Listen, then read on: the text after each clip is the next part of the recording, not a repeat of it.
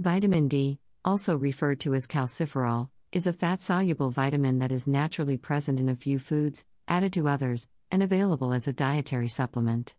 It is also produced endogenously when ultraviolet, UV, rays from sunlight strike the skin and trigger vitamin D synthesis. Links to buy this are below. Vitamin D3 and K2 work in partnership to support healthy bones.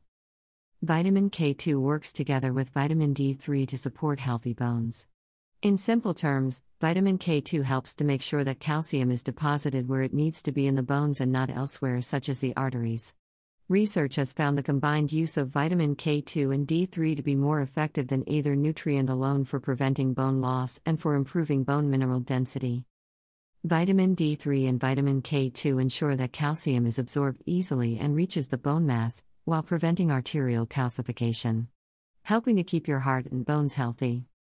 Separately, K2 regulates normal blood clotting, whilst D3 supports a healthy immune system and supports muscle function.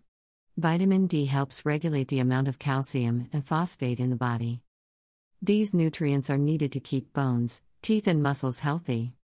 A lack of vitamin D can lead to bone deformities such as rickets in children, and bone pain caused by a condition called osteomalacia in adults. Government advice is that everyone should consider taking a daily vitamin D supplement during the autumn and winter.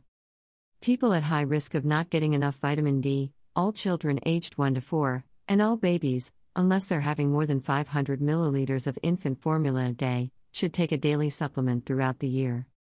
Information There have been some reports about vitamin D reducing the risk of coronavirus, COVID 19. But there is currently not enough evidence to support taking vitamin D solely to prevent or treat COVID 19. Good sources of vitamin D. From about late March slash early April to the end of September, most people should be able to make all the vitamin D they need from sunlight. The body creates vitamin D from direct sunlight on the skin when outdoors. But between October and early March, we do not make enough vitamin D from sunlight. Read more about vitamin D and sunlight. Vitamin D is also found in a small number of foods.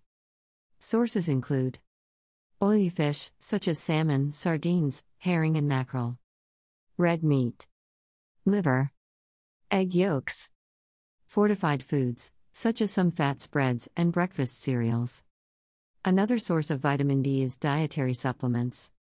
In the UK, cow's milk is generally not a good source of vitamin D because it is not fortified, as it is in some other countries. Links to buy this are below.